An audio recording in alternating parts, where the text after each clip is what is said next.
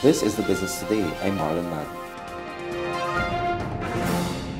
Some local consumers are expressing concern that they will not be able to buy their usual amount of goods following government's decision to remove some items from the basket of goods.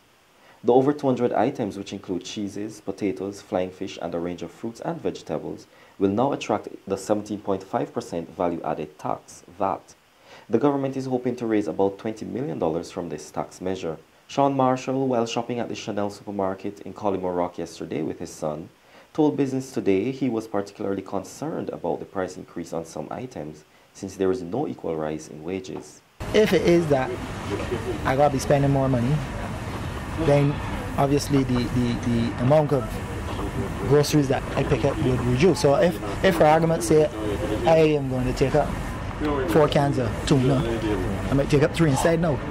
So it's to cut back on that, that cost the cost of living in Barbados is definitely too high because I'm not going to able to, to purchase my full basket of groceries that I normally would. Yeah? If, if it wasn't so high. And, and, and, and, and seeing the increase, the recent increase, it's going to drastically decrease my, my, my spending power, or shopping power rather. The cost going up and the wages remaining stagnant again, that, that reduces the spending power. Another consumer who was doing his shopping at the Massy stores at supermarkets in Sky Mall tells Business Today the price hikes will impact on his shopping habits. I believe it will affect everybody's shopping habits. You would probably limit and and you would um, you would cut back on the ones that are getting more expensive. I, I honestly haven't evaluated it mm-hmm. or the effect of it. Um, too much as yet, but it, obviously any in price increases are going to affect what you do and, and what you buy.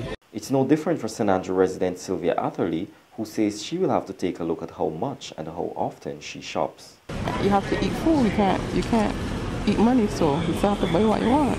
Okay. And you just be more selective, buy what is necessary, as opposed to just spending. You know, just going and taking stuff. You will look at the prices and make sure that we're checking everything your spending power is reduced because if you're custom buying X or Z and comes to say $100, now you may have to fork out 150 so you can't come back as regular as you would like. I usually do big shopping like once a month, but every week you still have to come back, for little items that you, run out of. Yes, and be more selective. You have to choose carefully. Adrian Springer, purchasing manager at the Savings Plus supermarket in Rock Plaza, Cave Hill, St. Michael, shared similar sentiments.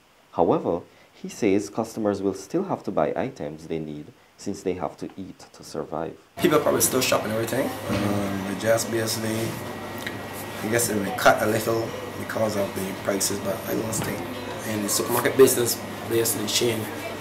Um, I always say that basically you still got to eat to live, so mm -hmm. they still can't really um, just stop buying food some because of the bad. People complain at first, but then they still um, still purchase the items. Uh, we still try to um, get some prices basically to pass on to customers basically. Mm -hmm. good prices, if we could hold back a little, if we could do that basically. And get the customers better prices. Businessman Anderson Cherry has described the waste haulage business environment in Barbados as unbelievably hard.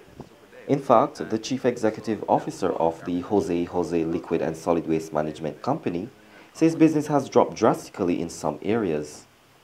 However, he says he has managed to maintain his staff complement. Cherry is calling for more investments, especially in construction, so businesses like his can benefit. Sales, sales has dropped. Uh, for instance, in the, in the, construction industry is, uh, is, is dead, it's super dead. And so that will cause the garbage industry to drop because we when, when people are building and construction going on, they rent more bins and stuff.